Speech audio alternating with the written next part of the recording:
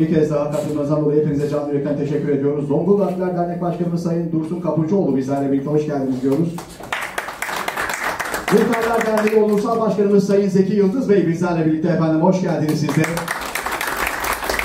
Zincir Pınarbaşı Dernek Başkanımız Abzer Peker Bey bizlerle birlikte, Giresunlar Derneği Yönetim Kurulu üyesi Özel Köse Bey bizlerle birlikte, Ağrılar Dernek Başkan Yardımcımız Sayın Hikmet Yeşiltaş bizlerle birlikte, Erzurum Çat Derneği Başkanımız Sinan Yağış Bey bizlerle birlikte, Yozgatlar Derneği Başkanımız Mehmet Koçer Bey bizlerle birlikte, Siverek Bapter Başkanımız Abdurrahman Başaran Bey bizlerle birlikte, Gülgenli Dernek Başkanımız Mehmet Akkaya Bey bizlerle birlikte, Çankırı Kurşunlu Dernek Başkanımız Sayın Rafet Uzun bizlerle birlikte, İstanbul Suriyeliler Türkmenler Dernek Başkanımız Muhammed Kadıoğlu ve Mehmet e, Kava Yağmurlu Bey bizlerle birlikte, Adıyaman Dernekler Federasyon Başkanımız Sayın Hüseyin Sevinçtekin Bey bizlerle birlikte, Sinçik Şahkolu Dernek Başkanımız Şevket Arslan Bey bizlerle birlikte, Kastamonular Dernek Başkan Yardımcımız Ramazan e, Kebadayı bizlerle, Kabadayı bizlerle birlikte, yine İnebolu Kays Elması Köyü Dernek Başkanımız Ramazan Kabadayı bizlerle birlikte, İnebolu Yardımlaşma Derneği Başkanımız Murat Oburoğlu bizlerle birlikte, Sultan Gazi Sinoplar Derneği Başkanımız Servet Başoğlu Bey bizlerle birlikte, Çankırı Dernek Başkanımız Naci Aydoğan Bey bizlerle birlikte, Pusula Haber İmtiyaz sahibi Emin Doğan bizlerle birlikte, Sultan Gazi Malatyalar Dernek Başkanımız Hadi Dursun Bey bizlerle birlikte, Malatya Şuken Dernek Başkanımız Nurettin Akgürse bizlerle birlikte Malatya, Boyadere Dernek Başkan Yardımcısı Üzeyir Özkul bizlerle birlikte, Türkiye Federasyon Başkanımız Mevlüt Kandemir Bey bizlerle birlikte bir kez daha hoş geldiniz, sefalar getirdiniz.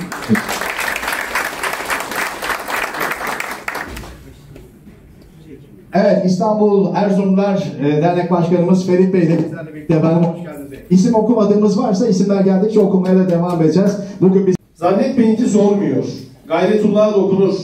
Siz bir belediyenin hakkını hiç kimseye peşkeş çekemezsiniz, yediremezsiniz. Bak biz Refah Partisi döneminde elhamdülillah veremeyeceğimiz hesabımız yok. İktidarda da yok, belediyelerimizde de yok. O yüzden zaten yeniden refah diyoruz.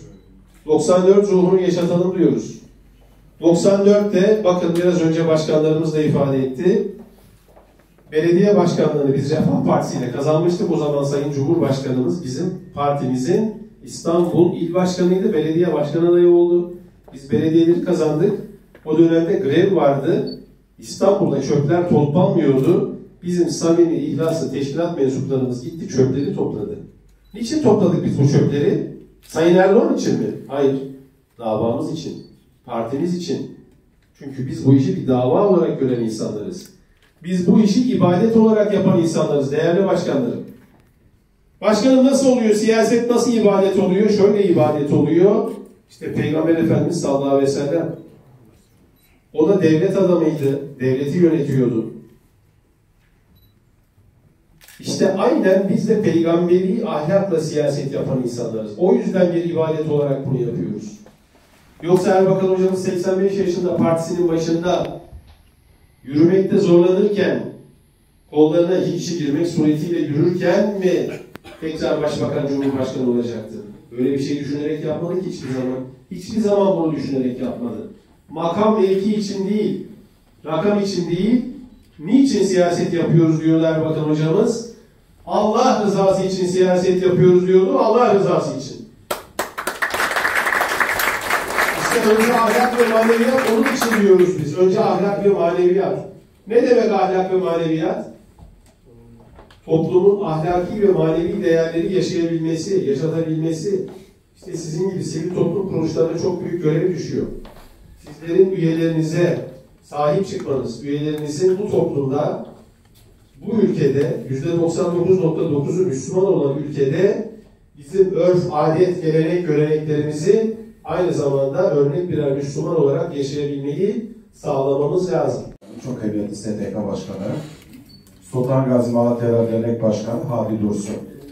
Kıymetli Başkanım, Sultan Gazi'de Malatya olarak 60 bin nüfusumuz var. 32 bin seçmenimiz var. Bu vesileyle Allah nasip ederse sizleri derneğe davet ediyorum. Kısa bir süre içerisinde bu konuda Yasin Başkanım e, davet noktasında bize e, bilgi verirse sizi burada ağırlamak istiyorum. Hayırlı akşamlar diliyorum. Sağ olun. Evet, Sultan Gazi. Bir de EYT konusunda Sayın Başkanımın, Genel Başkanımın bir sözü vardı, vaadi vardı. Ben bu ülkede de, de nebal ödeyeceğim dedi. Bedel ödeyeceğim dedi ama EYT'yi çıkartmayacağım dedi. Ama ne yazık ki geçen seçimde kendisi bir puan, iki puan CHP önde diye EYT'yi çıkarttı. Ne yazık ki arkadaşlar. Bunu yapmasın. 20 yıllık iktidar yönetiyor. Yani insanların alay geçmesin. Yani yanlışları var. Çok güzel hizmetleri de var. Bugün bakın Türkiye Cumhuriyeti'nin sivil savunmada katlettiği yollar var. Eğitimde katlettiği yollar var. Yer yer zaman zaman ben sivil toplum kuruluşlarında toplantılara katılıyorum. Ama kardeşim eleştirmeyecek miyiz? Biz AK Parti'deyiz diye AK Partilere eleştirmeyelim mi? Yanlışına yanlış, doğrusuna da doğru diyeceğiz. Onun için hepinizi saygıyla, saygıyla, selamla, muhabbet ediyorum. Allah'a emanet ediyorum. Bizde de mesela dernekler var, dernek başkanı, üyeler falan var, hepsi vardır. Biz sizden ayrı görmüyoruz kendimizi ve bizi kucaklarsanız çok memnun oluruz. Ve bizim aslımız Türk ve Türkmen, hiçbir ayrıntımız yoktur. Ama bazı köşelerde, bu büyük kibar memleketimizin bazı köşelerinde dışlanmak için bazı şeyler oluyor. Tabii ki olurdur. Tarihte her şey vardır. Ama bu icraatlardan dolayı biz hocamızdan, tanıdığımızdan dolayı ve yaşım bana çok yetiyor. Çok minnettarız, çok memnunuz, çok gurur duyuyoruz. Sizin hepinize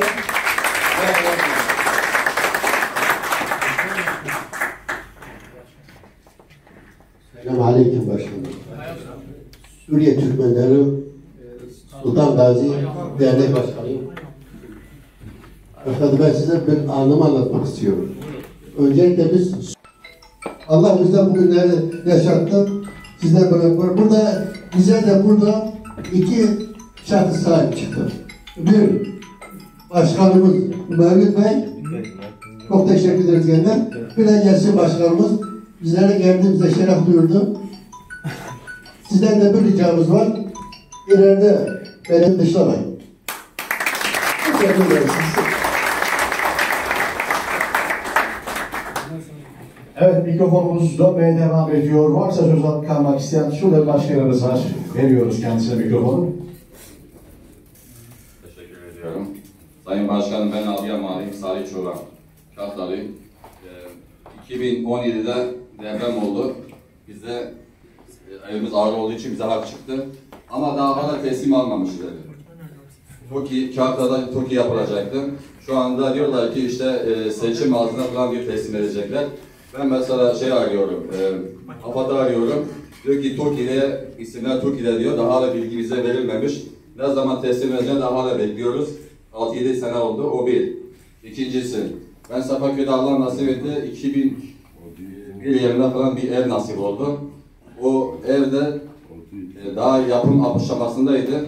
Devletle müteahhit arasında bir sıkıntılar olmuştu. Dedi ki, e, tapular çıkacak. Tapular ödemesi hepsini yaptık. Sonra tapular devletle mahkemelik olduğu için tapular çıktı. Çıkaran kişi de devlet kurumunda çalışıyor. Biz gittik hatta kapı kilitleri üstünde. Dedi ki devlet bilse ki ben burada çalışıyorum. Beni görevde alırlar. Sonra o tapuları tuttu başkasına sattı. Tapuların fiyatı misal e, 5000 TL ise tuttum başkasına verdi 10 bin TL istedi. Arada bir sene geçti. Dedi ki işte 20 bin TL, 20 bin TL. Geçen sene bana dedi ki gittim dedi ki 50 bin TL. Sonra dedi ki sen, sen siz bunu almasan diye ben evinizi satarım. Yani elimizde şu anda hiçbir belge yok. Safaköy, Emin Mahallesi'nde. O bir bu- bugün İsla- İslamiyet üzerinde çok büyük hayaller kuruyorlar. Bugün e, İslam üzerinde, Müslümanlar üzerinde çok büyük zulüm yapıyorlar. Bu zulümler yapılırken onların tek istediği şey bizim ayrı olmamız, ayrışmamız. Ben de yaklaşık 22 yıldır AK Parti siyaset yapıyorum. Ama hiçbir zaman Yeniden Refah Partisi ya da sağ cenahta bu ülkede vatan, millet, bayrak diyen, ezan diyen, Kur'an diyen hiç kimseyi ayrı görmedim. Görmek istemiyoruz. Onun için özellikle ricamız şu. Eğer gerçekten İstanbul yeniden refahla kazanılırsa bunlarla girelim. AK Parti ile kazanılacak ama bu İstanbul'u kazanmamız lazım. İstanbul sıradan bir şehir değil. İstanbul İslam'ın şehri, İslam'ın başkenti. Onun için ben diyorum ki ne olur gelin bu konuda e, büyüklerimize sesleniyorum, genel başkanlarına sesleniyorum. Diyorum ki birleşelim. Biz bugün yapılan işte bugün e, Filistin'de bunun yanında Doğu Türkistan'da Müslümanlar üzerine bütün oyunları yok etmek istiyorsak, eğer biz başarı istiyorsak, Eğer biz Türkiye olarak liderlik yapmak istiyorsak birleşmemiz lazım, ayrışmamız lazım değil. Onun için Besmen'e en sonunda Genel Başkanımız konuşacaktır. Bu arada tüm Can Bekler Dernek Başkanımız Sayın Abdülbaki Durmuş Bey yönetimiyle birlikte aramıza katıldılar. Hoş geldiniz diyoruz size. Buyurun başkanım. Cümlete selamünaleyküm, hayırlı akşamlar diliyorum. Ferit Keser, İstanbul Erzurumlar Sosyal Yardımlaşma ve Dayanışma Derneği Başkanıyım. Sevgili Yasin Kul Başkanım da bizim İstanbul Erzurumlar Derneğimizde istişare kurulu üyemizdir. Ayrıca güzel bir kardeşimizdir. Tabi burada da başkanımızdır. Kendisini çalışmalarından dolayı, böyle toplantıları düzenlediğinden dolayı kendilerine canı gönülden teşekkür ediyorum. Onun için burada bu konuşulduğu zaman biz şunu diyoruz. Yapılan eserleri evet gösterelim ama Türkiye'de de İstanbul'un üzerinden ağırlıklı bahsediyorum. Yapılan köprüler maalesef başkaları bedava yerler aldılar. Şu anda yollar yapıldı, köprüler yapıldı. İşletmesinin parasını da garanti etmiş. Az önce başkanımızın bahsettiği gibi işte fındığı nasıl hem e? Çok teşekkür ediyorum. Evet, Sayın Genel Başkan Bey zaten notlarını alıyorlar. Hala mikrofonunuz dönmeye devam